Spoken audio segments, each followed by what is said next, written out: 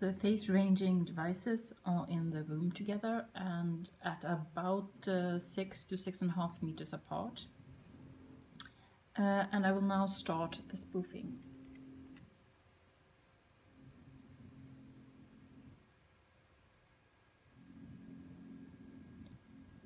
The spoofer is uh, now online and we can see the distance uh, dropping.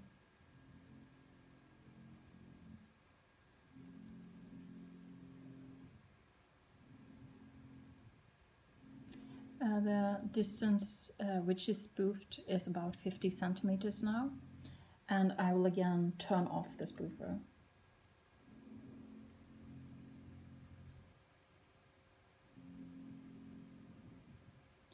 It is now off and we can see the distance climbing again.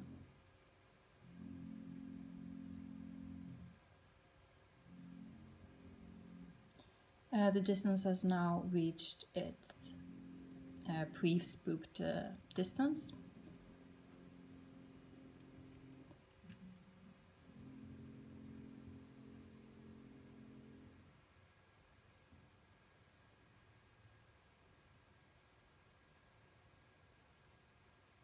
The spoofer is now online and we can see the distance dropping again.